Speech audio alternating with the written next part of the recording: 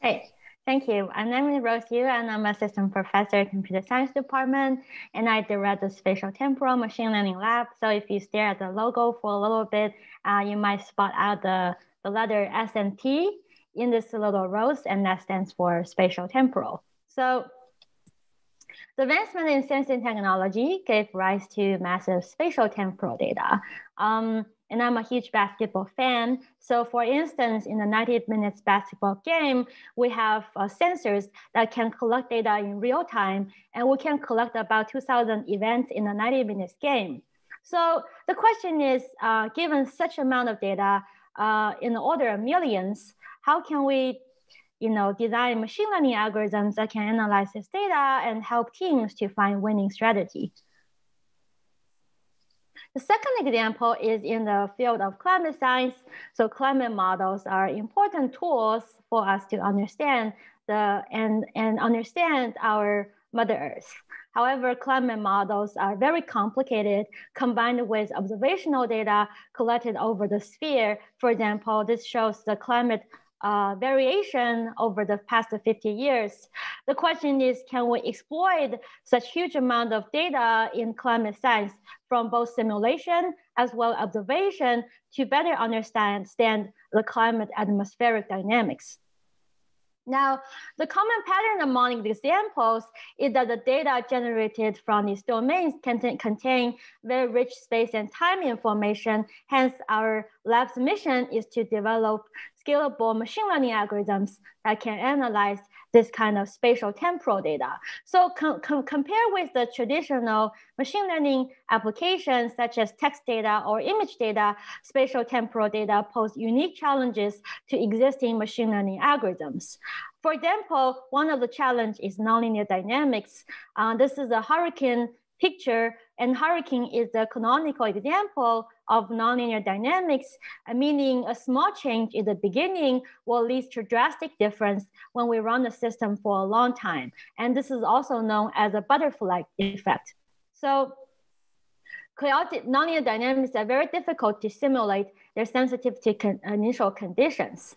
The second challenge is non-Euclidean geometry. So if you look at you know, uh, the road sensor network, the sensors uh, deployed on this highway network is not like a regular grid, such as an image data. So it is very difficult to represent this kind of data in Euclidean geometry, right? And naturally our Earth is a sphere, so it, requires other type of non-Euclidean geometry to represent data in space and time. Thirdly, um, spatial temporal data contains strong dependencies, not only across different uh, features, such as you know the carbon dioxide measurements over temperature, but also there are strong dependencies across different timestamps and different locations. And this jointly contribute to higher order correlation. And we know that higher order structure often pose challenges to high dimensional models, and there is a curse of dimensionality. So it's very difficult to learn. This talk, the theme is tensor methods, right? And I want to argue tensor methods are natural methods to model spatial temporal data because tensors generalize matrices and they can naturally encode higher order dependencies because they are higher order models by themselves. So in contrast to matrix models, which are linear operators, tensor models are multilinear operators and hence representing the nonlinear maps in our spatial temporal dynamics.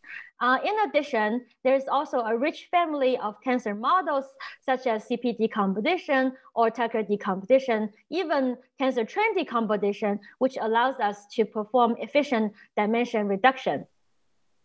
So nowadays in machine learning, most people would use deep learning to generate predictions because they're powerful in terms of representing unknown functions. However, I would also want to argue that deep learning models are very difficult to interpret. For uh, domain scientists, the predictions or the models from deep learning are very, are very difficult to make sense of. So tensor methods have this advantage with being a shallow model, even though it may not have the same type of prediction accuracy as deep learning models, but it enables interpretable models such that they can um, be useful to the domain science. So then in today's talk, I will focus on our recent ICML paper in 2020 on multi-resolution tensor learning. And in this paper, what we proposed is a new type of tensor learning algorithm that can generate interpretable uh, factors, right? So basically, given the trajectory data from a basketball game, and then we instantiate tensor learning algorithms to generate heat maps that represent the behavior of different basketball plays. And these type of profiles can later be used by coaches to design better winning strategies. Um, just to motivate for an example, right? Let's say we wanted to predict um, the basketball player's shooting behavior. And in this case, we want to learn the player's shooting profiles. Um, so in this task, right, we're looking at the half court and this is the basket and this is the three point line. And so we're focusing on the ball handler, which is a red dot here. And the ball handler is surrounded by the defender. So we want to understand what is the behavior that this ball handler is going to perform while he's shooting a ball or not, and how is the presence of the defender going to change the behavior of this ball handler, right? And that's our task. So we are basically given the input as positions of the ball handler and the defender, and our output is the probability of a ball handler making the shot. So you can simplify this as a classification problem, essentially predicting whether this ball handler in red dot is going to make a shot. Given the positions of the ball handler itself, himself and the defenders surrounding him, right? And then basically the goal here is not really to make as accurate prediction as possible, but rather to learn the player profiles in the presence of the defender. So basically, we discretize these positions of the ball handler in this kind of spatial grid. And if we have a position of the ball handler X as in 34.1, 40.7, we can assign a discretized value of uh, this position as a one hot encoding. So if we have a, for example, 10 by 10 grid, and this one hot encoding vector will be of a dimension of 10,000. And there's only one entry represent one, meaning that there is a point that is present in this grid cell. We can model basically this type of problem using a tensor latent factor model um, because we know that tensors can capture higher order correlation. And in this example, we want to capture the correlations among players, ball handlers, and the defenders. So compared with the regular tensor methods in machine learning, which is usually in an unsupervised setting, we're actually working with a supervised learning problem where we try to regress from the input, which is the positions of the ball handler, the positions of the defender to the probability of this player Y of A making the shot. So this is a binary classification problem. If the label is one, that means it's taking a shot. And if it's not taking the shot, then the label is zero. So we associate the tensor weights WABC uh, for this regression model.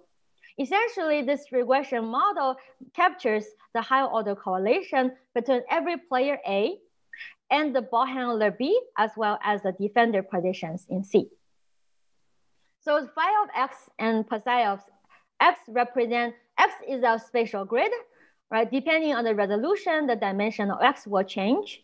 Um, phi of B and psi of C represent the map from the spatial grid to the one hot encoding of the positions for ball handler and the defenders. And this tensor itself, WABC, can be extremely high dimensional depending on the resolution of the spatial grid.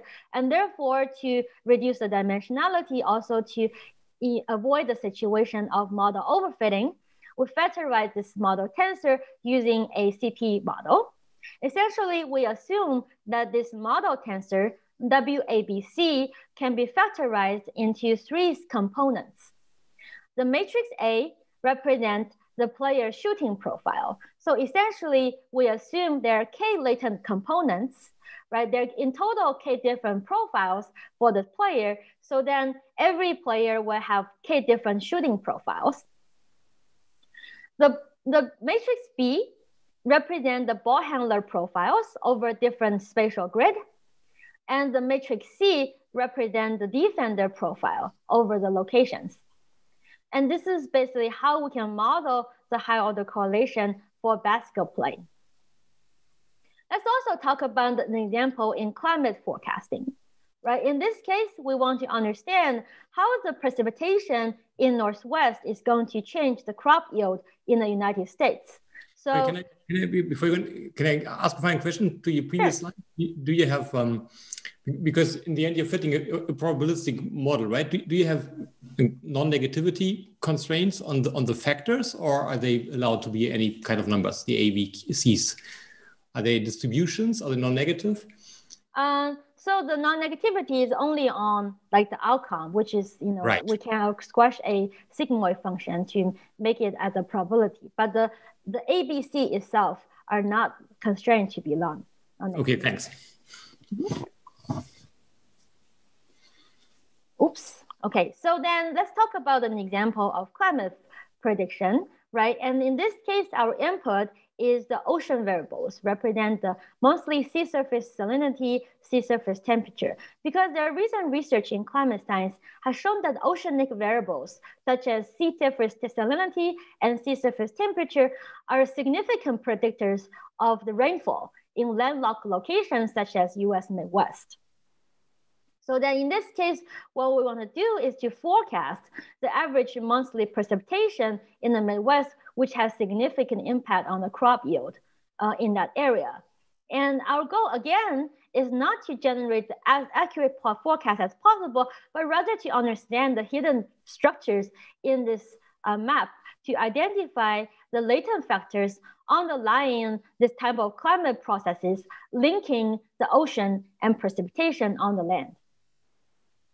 So again, we can use tensor models to capture the higher order correlation in these different type of variables. So there are time variables correlating to months, and there are ocean features including salinity and temperature, and there are different locations basically generating the measurements. Right? We can build a similar multilinear regression model using supervised learning that maps from the tensor of x to the y outcome. Right, the tensor x has three dimensions. The first one is the number of months, right? And it's using an autoregressive model and concatenating the measurements over several months. The second dimension corresponds to ocean features, including salinity, salinity and temperature. The third dimension is a location. We concatenate them into, we concatenate the locations in different uh, places in the Midwest into the third dimension. And similarly, right, we're basically trying to predict from the ocean variable to the precipitation. And precipitation is our outcome in Y. So again, we have a tensor uh, model W, which models this type of multilinear map. And we can factorize this tensor again into three components, right? We have basically three matrices with, you know, in total K number of factors. So the first matrix represents the temporal factor, uh, which captures the temporal periodicity in the latent space. And then the second matrix corresponding to the ocean features over locations. And the third one corresponding to the spatial factors, right? And using these two examples, we can basically see um, the high level abstraction of linear regression basically allows us to model um, multilinear maps from input feature to output label, whether the output label is discrete or in the basketball prediction case, or it's continuous as in the climate forecasting case. And then the goal here is to learn our interpretable latent factors in the model W, right, that can be useful for downstream applications.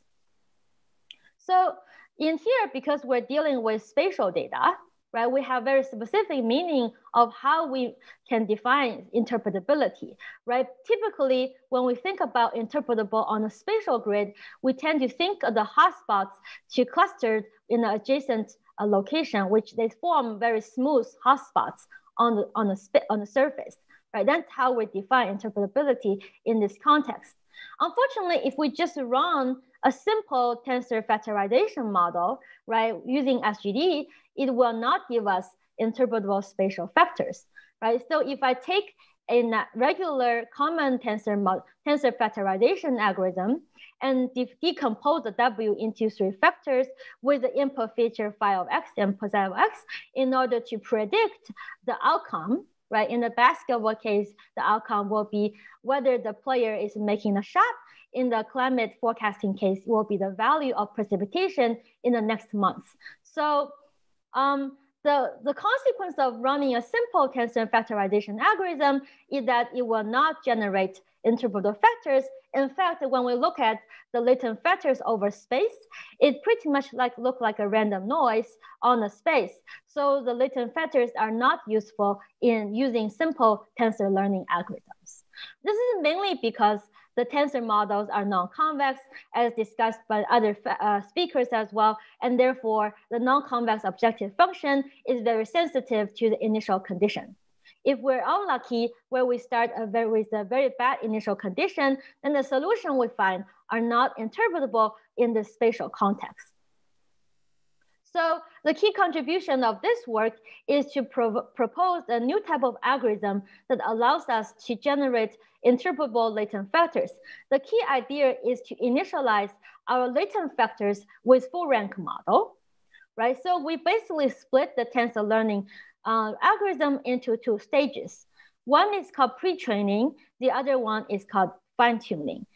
Pre-training stage give us a very good initialization, which we later will show is critical to generate interpretable latent factors. The fine-tuning stage will basically use the, the initialization from the pre-training stage and factorize it into low rank models. So initialization step will use a full rank model and then we will factorize at the end after we finish the pre-training step. The, the fine-tuning stage will factorize, will train on the model in, in a low rank kind of fashion, right? But naturally, when you think about learning a full rank tensor model, right? Because our dimension is huge for basketball, the corresponding to number of grid cells in the basketball uh, court. So we have to use scalable algorithms to speed up this type of process. And the key idea behind this kind of process is multi-resolution.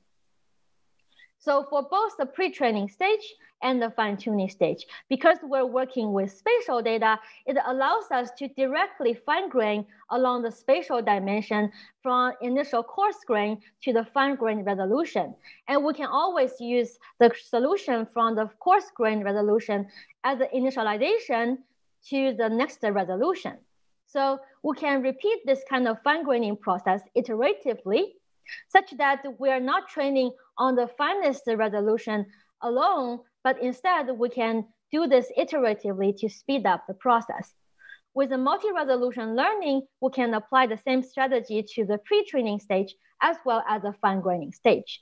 The difference is that in the pre-training stage, we're fine graining on the full tensor, as you can see on this picture, whereas in the fine graining stage, we're fine graining on the latent factors, as see on the, on the other picture.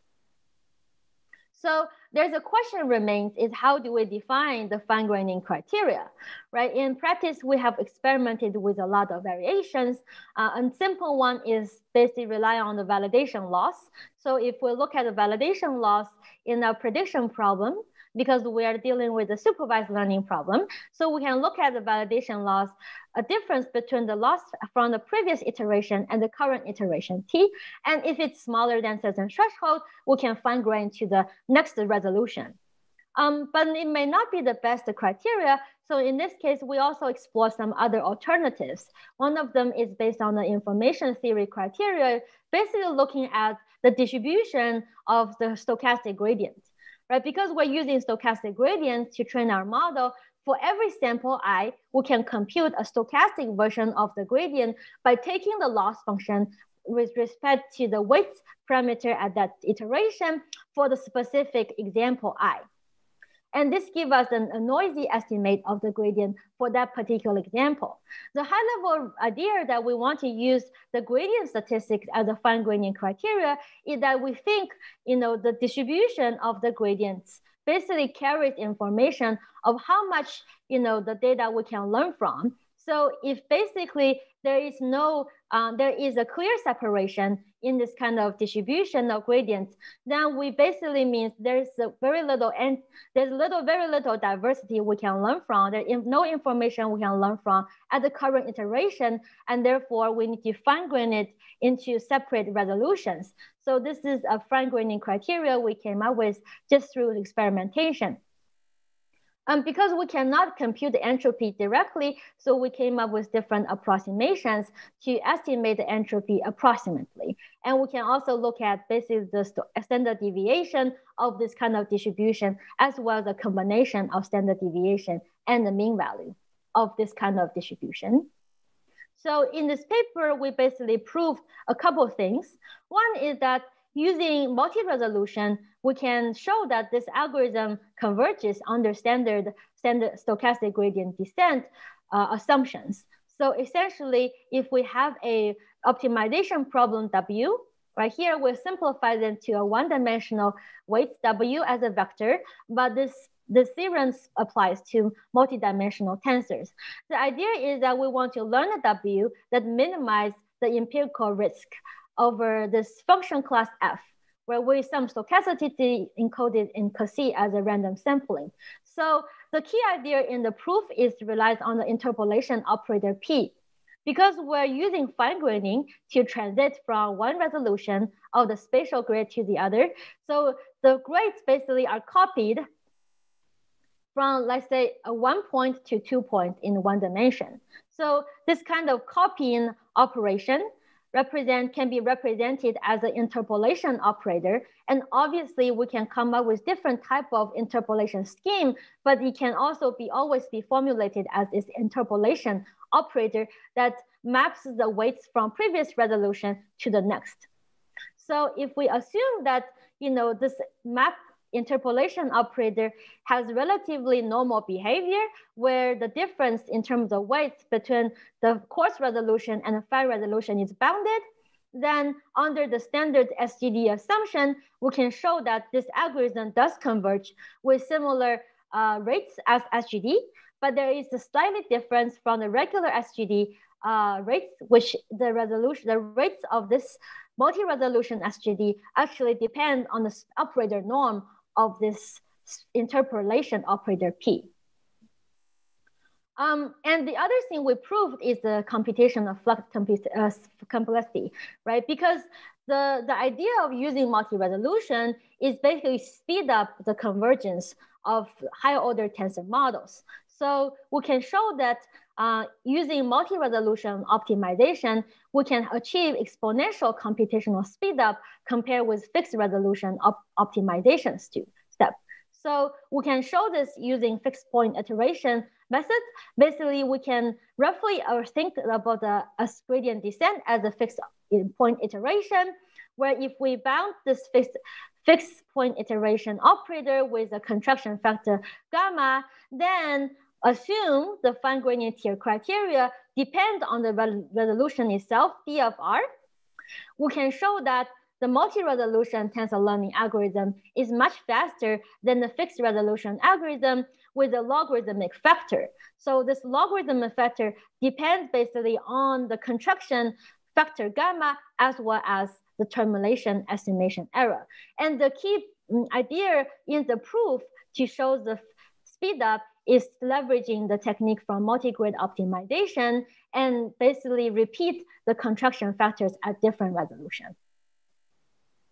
So experimentally, we showed that our method is much faster than the fixed resolution, both for the pre-training stage as well as the fine-tuning stage. So for pre-training stage, we're learning a full rank model.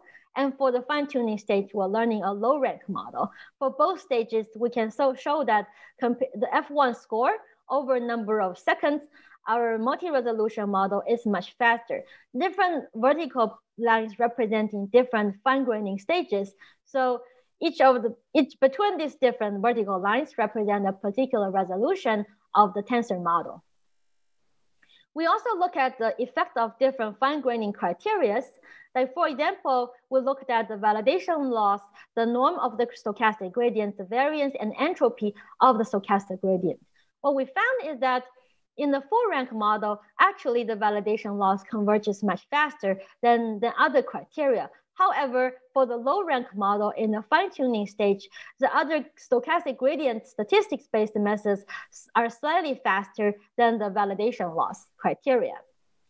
Um, the key point in this, uh, in this paper is to show interpretability. As I mentioned before, if we run a simple tensor factorization methods, we will obtain random initial, random, with random initialization, then we will obtain latent factors that look like a noise.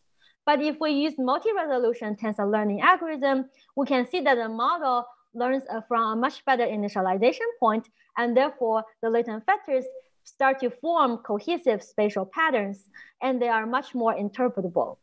So we can show the latent factors learned by the model for the basketball game. For example, if we look at the ball handler, we can see that it forms cohesive, coherent spatial patterns.